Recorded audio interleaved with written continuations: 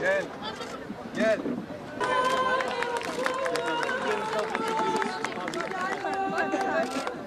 Buraya bak, buraya bak. Buraya bak anneciğim.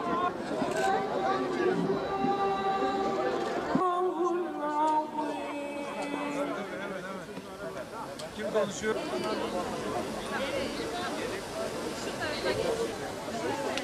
Bu da şöyle. Acayip kalabalık. Bugün Kartal'a yıktı. Aynen. Aynen. Aynen. İçeriden.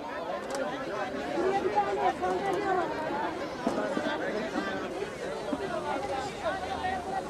Abla burası protokoler. Efektler alın, ses deneme, cihaz kontrol prova.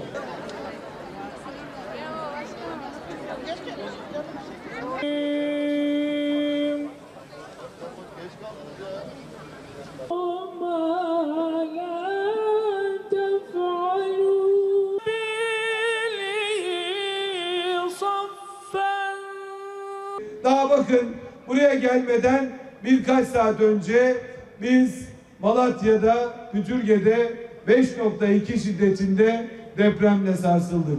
Hemen il müdürlüğü ekiplerimizi incelemelerini yapmak üzere bölgeye sevk ettik ve en büyük tesellimiz şu ana kadar herhangi bir can kaybının ve yaralanmamın olmamasıdır. Ben aziz milletimize, Malatya'mıza geçmiş olsun dileklerimi iletiyorum. Rabbim ülkemizi her türlü afetlerden muhafaza eylesin. İşte bu depremlerde bu depremlerde acıların yaşanmaması için Cumhurbaşkanımız 2012 yılında bunu gittiğim her yerde söylüyorum.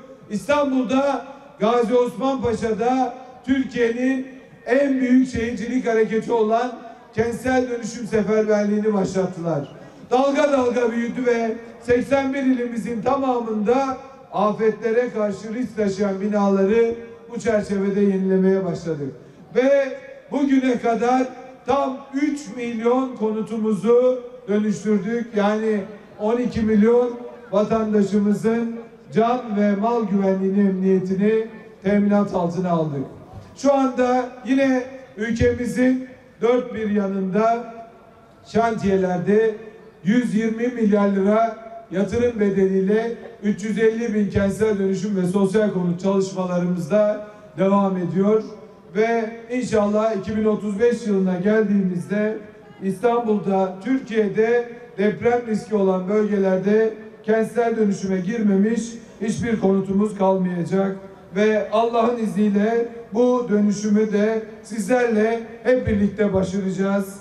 Ve inşallah bizim bu çerçevede atacağımız adımlar yerinde gönüllü, hızlı gönüllü prensipleriyle sizlerle birlikte bu süreçleri yönetmeye devam edeceğiz. İstanbul'umuzun her yerinde kentsel dönüşüm diyerek 39 ilçemizin tamamında on binlerce konutumuzu dönüştürdük ve sahada da 140 bin konutumuzun inşasına süratle devam ediyoruz.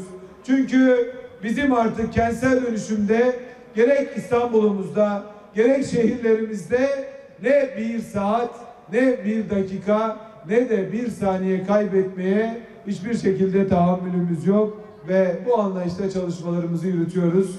Bundan iki yıl önce de Gazi Osman Paşa'mıza bir söz vermiştik ve Gazi Osman Paşa ve komşu ilçelerinde iki yeni ağ oluşturacağız demiştik. Bunlardan birisi dönüşüm, diğeri ise Yeşil Ağ ve bu çerçevede çalışmalarımızı başlattık.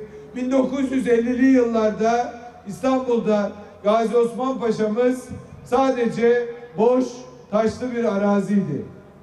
Ve buralara da aslında hepiniz de çok iyi biliyorsunuz taşlı tarla olarak anılırdı ve yıllar geçti Gazi Osman Paşa köyden kente göçün merkez ilçelerinden biri haline geldi. Yapılaşma arttı ve sağlıksız yapı stoğu da bu çerçevede artmış oldu. Gazi Osman Paşa'da yaptığımız yeni dönüşüm projelerimizi yine Sultan Gazi, Esenler, Bayrampaşa ve Eyüp Sultan'daki çalışmalarımızda birleştirerek Avrupa yakasında adeta bir kentsel dönüşüm ağı ördük. Bu kapsamda Gazi Osman Paşa'mızda, Yıldız Tarabya'da, yine Bağlarbaşı'nda, Sarıgöl'de, Yeni Mahalle'de, Pazar içinde toplam 6 projede kıymetli hemşehrilerim bin konutumuzu 2021 yılında sizlere teslim ettik. Kalan konutlarımızı da Sayın Başkanım da ifade ediyor. Ee, inşallah etaplar halinde 2023 yılına kadar 6500 yeni ev ve iş yerlerimizi de sizlere teslim etmiş olacağız.